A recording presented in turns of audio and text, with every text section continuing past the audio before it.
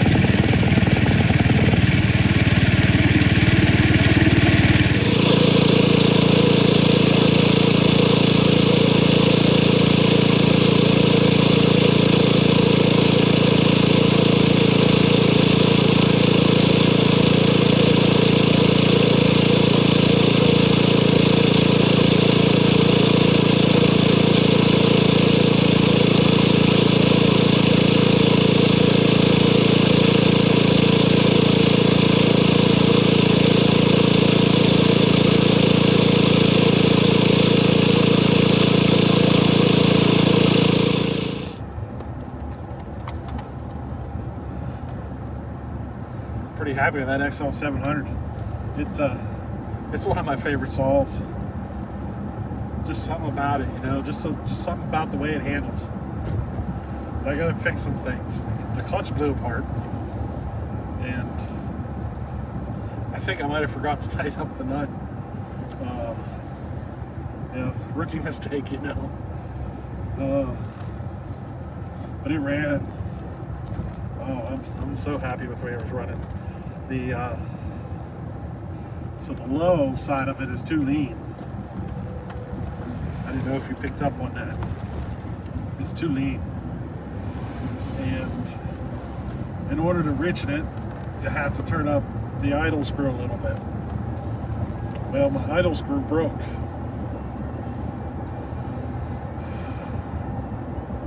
So, I have to run it a little lean in order to keep the idle up enough that it will kind of want to run.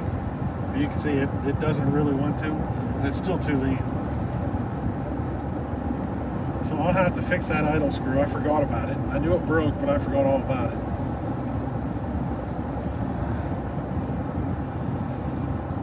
But I think that's, right now, that's one of my favorite saws. Just something about it. Now, the manual oiler on it, I gotta do something there too. If I push the oiler all the way down, it hits the on off switch and shuts us all off. And I can't just sit there and keep pumping and keep pumping and to keep oil moving.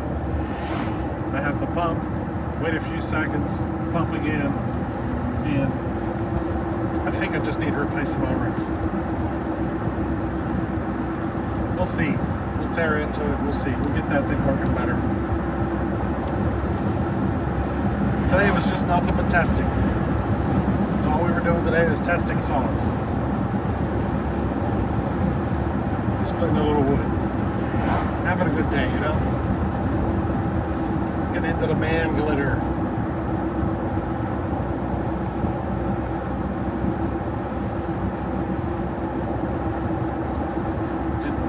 See the clutch blow apart though? The, uh, I don't know where the nut and the washer went. They just, I looked down and they just ping gone. It vanished into the wood pile. I found the bearing though, so that's a good thing. All I gotta do is find a new washer, new nut, and I'll be able to fix that. I probably already have those.